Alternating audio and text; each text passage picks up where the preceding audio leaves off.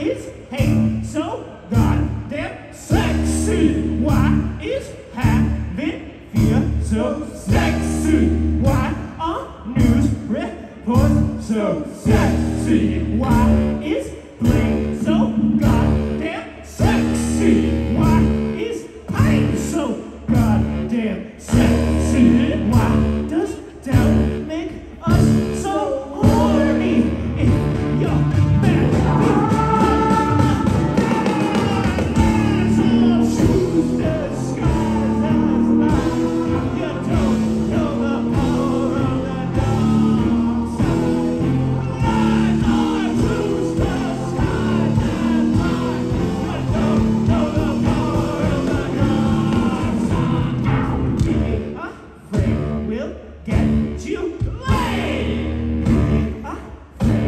You.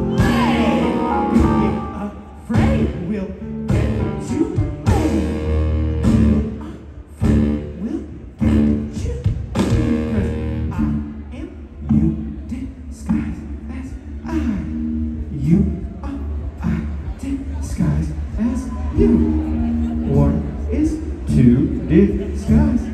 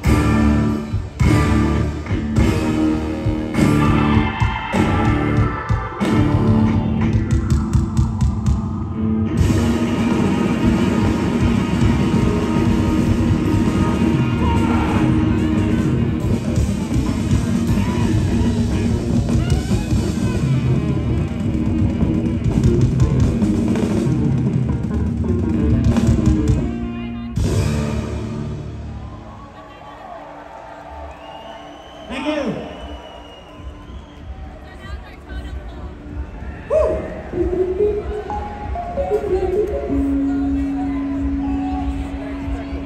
Start with the whistle.